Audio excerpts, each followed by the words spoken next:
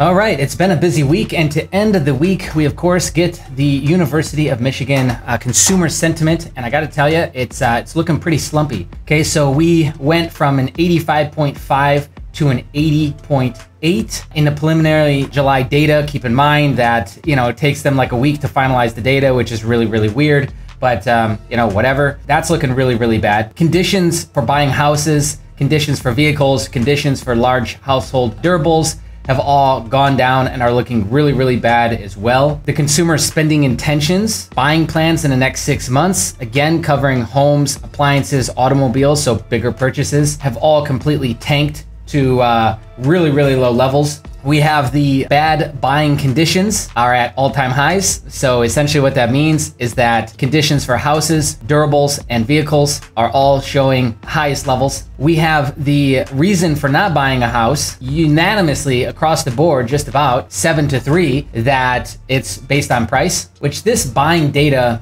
represents the worst that we've seen since 1982. Now we can see here that the um, the New York Fed consumer survey mixed with the now U of M consumer survey data just about matching up, looking pretty much the same.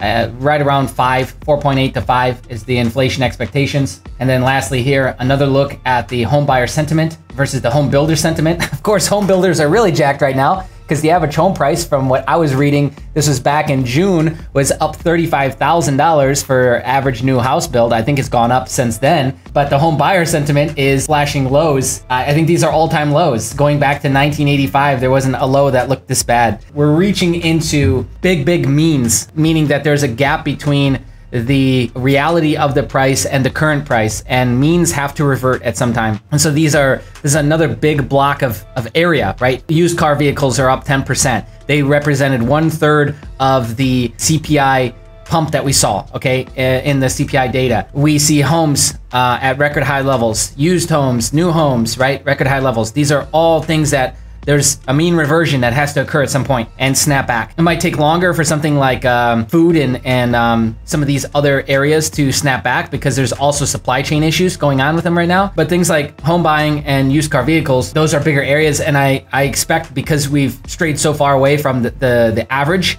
that you should see a more aggressive pullback when we do eventually see that. So anyways, just quick update for you. If you like this video, or you want to help us spread this message in the algorithms and, and, get us trending on YouTube better, just hit the like button. Comment below if you got something to say. Subscribe to the channel if you're brand new here or you like this sort of thing. And uh, hit the bell notification so that you don't miss out on any updates. Be on the lookout, more videos coming soon. See ya.